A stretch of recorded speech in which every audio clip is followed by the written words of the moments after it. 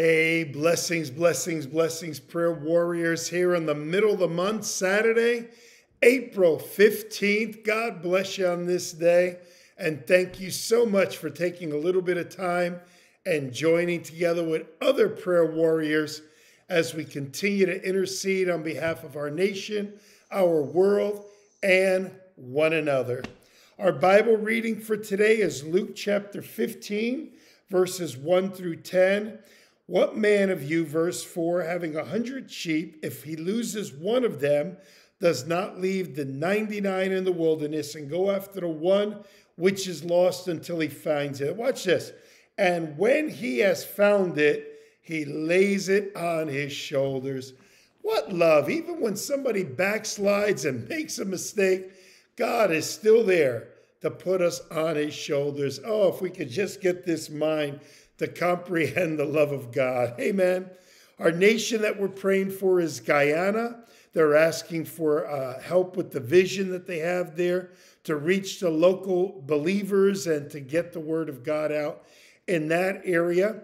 It has a population of 700,000, 16.7% evangelical Christians, and number 36 on your prayer chart. We are praying for number 17 and 18, Kansas Kansas and Oklahoma. Kansas, 2.9 million, 31% evangelical. Oklahoma, 3.9 million, 47% evangelical. Wow. Love to see that in New Jersey. Amen. And our prayer focus today is evangelism and discipleship. Amen. All right, let's go ahead and pray as we kick off our day here, or whatever part of the day you're with me. Father, we again bless you and honor you and thank you for this new day. Lord, as I just said a moment ago, if we could just comprehend your love, that it's not you putting these trials in our lives, it's not you doing all this junk that goes on in this life, Lord, that you love us. When we're going through hard times, you carry us, almost like that poem, Footprints in the Sand. You're always there, you're always helping, you're always loving. Oh, to comprehend the love of Almighty God. We do love you today, and we praise you and give you thanks for this amazing weather we've had for a, the few days. And now I hear a little change in the weather, but it's all good, Lord, because this is all going to pass away and one day we're going to enter into perfect realm. perfect realm. We look forward to that, Lord. That's why we are constantly looking up. We are living in warp speed days because scripture is being fulfilled. Lord, we lift up evangelism and discipleship. We pray for those that are being discipled, those that are growing in the Lord, those that are helping make disciples of others.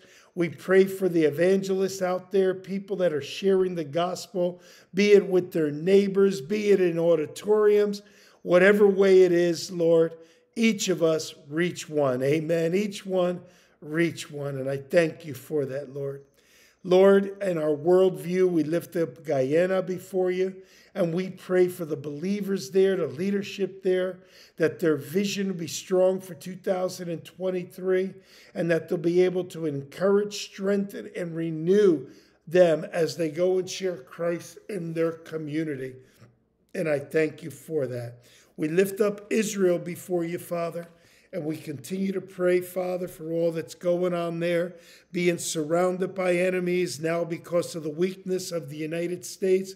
Saudi Arabia is now uh, having a peace treaty with Iran. So, more nations that'll be going against Israel. Lord, I just thank you that you're not done with America, but you're not done with Israel. We know that for sure. So, our eyes are upon you we're going to see one of the greatest demonstrations of our God moving on the behalf of Israel soon. And we look forward to it. We don't look forward to war, but we look forward to seeing our God move. We lift up Kansas and Oklahoma today. With so many believers in both of these states, we pray for their strength. We pray, Father, for the people of the United States to have common sense and to have spiritual discernment of who they vote for, Lord, These people wouldn't be getting in office if, if Christians were voting according to the leading of the Holy Spirit. And I'm not talking about presidents, I'm talking about mayors and governors and city councils and freeholders and congressmen and, and women and, and on and on, Lord. I pray for Christians, Lord, to open their eyes, to see the hour that we're living, to be voting and doing what they can do to help bring some morality to our nation. Because the way we're going, judgment's around the corner. We pray for this United States of America. We pray for those that are in authority. We again bind up evil people, Lord. We bind them up in Jesus' name. Many of them are delusional, many of them are even demon possessed. We bind them up. We pray for the godly that you would strengthen them and use them. Lord, we lift up those in the executive branch, legislative branch, judicial branch of our government, and we pray, Father, for common sense, Lord. Common sense, Lord. We lift up the prayer cards that have come in this week, Lord. We pray over the needs of brothers and sisters, Lord. We pray for needs to be met, special ones that have come in during the week, come in on Sunday, those on the prayer line, Lord. We pray for those that are in the hospital, those are going to doctors today and something's not right, this and that, Lord. Lord, we know the outward man perished, but the inward is being renewed. But you also said that you would take care of us, even when our hair is silver, to our old age. And I thank you for that promise. A promise is a promise. So we claim today healing in our bodies from the top of our head to the soles of our feet. And we thank you for it, for your word gives us that comfort. Over 150 scriptures that it is your will to heal and not your will to put sickness. The thief comes not, but for to steal, kill, and to destroy. Lord, we do praise you for this day. I pray for my brothers and sisters today.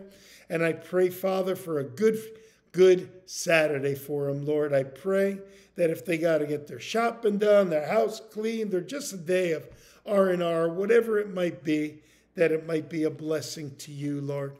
It might be a blessing to them also. Lord, we love you and we honor you and we exalt you again. We lift up your Son's name, the Lord Jesus, and we thank you so much for sending him to us. We love you, sir. We honor the name that's above every name, the name of our Savior. In Jesus' name I pray. Amen and amen. God is good. Each one reach one, and let's stay in prayer during the course of our day. Amen. Little one minute prayers here and there go a long way.